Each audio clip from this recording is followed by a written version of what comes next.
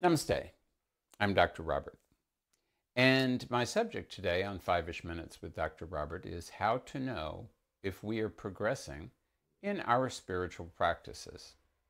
So, the first thing you should notice is that if you're doing a spiritual practice that is actually doing something useful for you, what should be happening is that, like anything else, it should be becoming more like second nature. There should be a certain amount of muscle memory. You should sit down in your usual place, in your usual meditative posture, and maybe with your usual incense and your usual whatever it is that you maybe you're reciting something or visualizing something the the more that you do that the more it should assist you to become more focused, for your mind to calm down, for you to go into a frame of mind that will assist you in your practice with aligning with the supreme reality. That's the number one thing that should happen.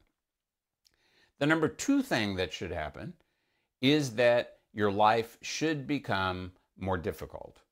But wait, you will say, I, I am doing good things. I am being a spiritual person. My life should become easier. No, that is not what should happen to you. And why should that not happen? That should not happen because you are starting to work through all the various karmas that have accumulated. My mentor, the Aghori Vimalananda, used to like to say that when we talk about enlightenment, what this really means is that you are lightening yourself of the burden of the karmas that are obstructing your perspective on reality. The more lightened that becomes, the clearer things become. But to go through that, that is going to encourage the things that you have to experience. And according to Lord Saturn, you have no alternative from experiencing. You're going to start experiencing them more and more.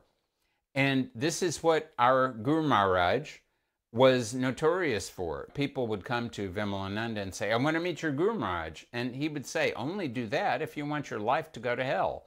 Because Guru Maharaj will make sure that all of your bad karmas come out first so you can deal with them and then you'll be, a better, you'll be better off. So be prepared for that. Do not assume that because you start reciting something or singing some bhajan or something that your life is going to become easy. It will eventually become easier, but it will become easier in the sense that you will gain greater equanimity. You will gain an awareness of how, and this is an awareness that I have uh, slogged my way through life to find out, that it's that because I'm by nature a very irritable person. But honestly, it takes a lot of energy to be irritable. And as you make spiritual progress, you realize why should I be using energy to be irritable and to react and to do all these other things when, in fact, what I could be doing is using that same energy to keep myself in a place of equanimity. So, one of the definitions that, that Bhagavan Sri Krishna employs in the Bhagavad Gita for yoga is to have a condition of samatha, a condition of equanimity, no matter what's happening, no matter who you're meeting, no matter you're, how you're interacting with. The greater you can maintain your equanimity, no matter what is happening, no matter who cuts you off on the freeway, no matter who attempts to scam you, no matter what kind of thing happens, the greater the degree of equanimity that you can maintain, the greater you have made progress in your sadhana. In fact, it's been said that as long as you can still be thrown off your kilter, thrown off your equanimity, that means you still have things that you need to work through. And as you work through your sadhana, through your spiritual practices, this is something you will also note that you will be able to clean up a lot of the negative things in your reality and of your personality. But there will always be something that is so deeply set in you that you're going to have to keep working on it pretty much indefinitely.